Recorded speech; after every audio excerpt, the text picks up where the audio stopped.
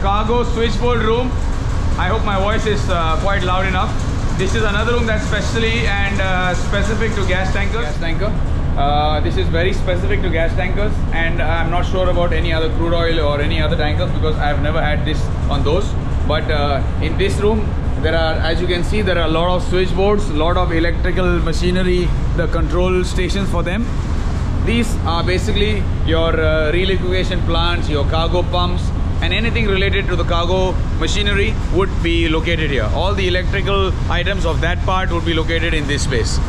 For now, what you see here, this is like your cargo compressor number two. That's the big panel. Of course, it's a huge motor. No wonder.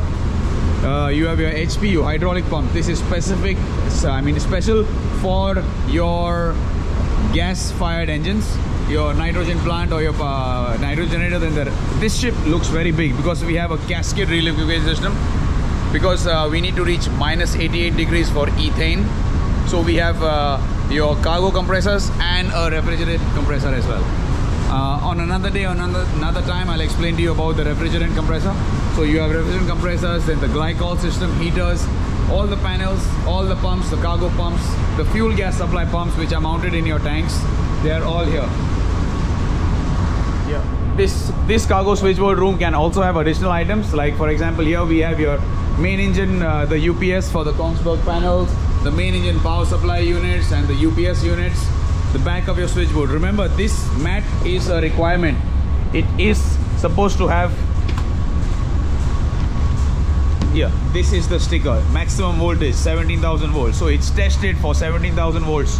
All your uh, high voltage equipment on board the even the 440 equipment must have these mats. These are special mats. Backside this backside also has the glycol uh, the heating panel the supply pumps unit the generator power supply units are here. These are the transformers that are there.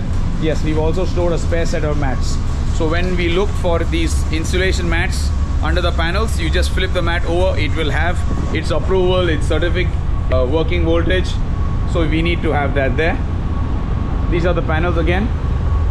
And I hope you know what is this. This room is protected by three two one. Yes you're right.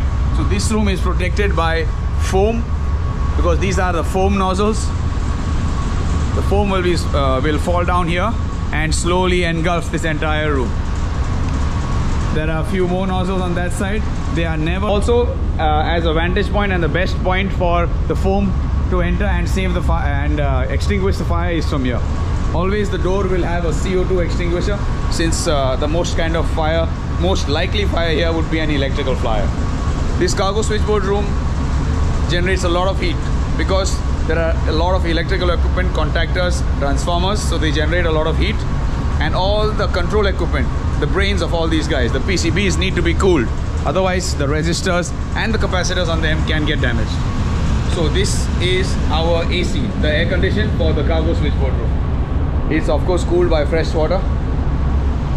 Exit door uh, number one and the door number two is that side. This yellow stick that you see is a safety hook. Can you see this? 45 kilovolts. That means if I hold this at one end and that touches a live cable of 45,000 volts I still won't get electrocuted. This is to pull out somebody if somebody stuck onto the switchboard somebody stuck you know onto the switchboard and he's getting electrocuted I take this and I pull the fellow out. Yeah I catch him and I pull it out. So this is a safety hook. This is not specific to gas tankers but it's a good recommendation to have on uh, many ships. So I believe we are done with the tour of uh, the cargo switchboard room on this uh, gas tanker. All right guys take care. Bye bye see you. Hope you learned something. Do like do share this video. I think i might not even edit this one because hopefully the footage looks good to go. Bye bye